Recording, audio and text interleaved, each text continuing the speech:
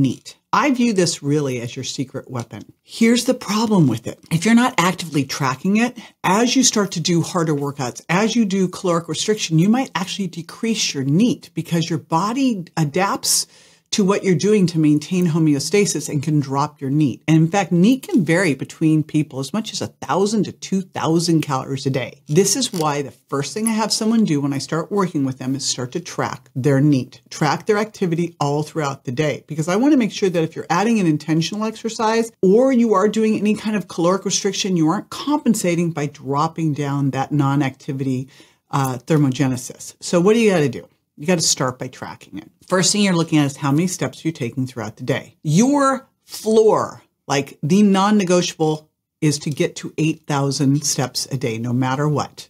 Okay. The goal is going to be to do higher than that. But the first step is always 8,000 steps a day. Once you get to there, then go to 10,000 a day, then go to 12,000 a day. But the very first thing that I want you to think about is how do I get to 8,000 steps a day? One of the things I love is walking after a meal, especially dinner, because it's going to help with digestion, help get you ready for sleep. Stand rather than sit, walk rather than stand, take the stairs whenever possible. Like look throughout your life and go, how can I just move more all throughout the day?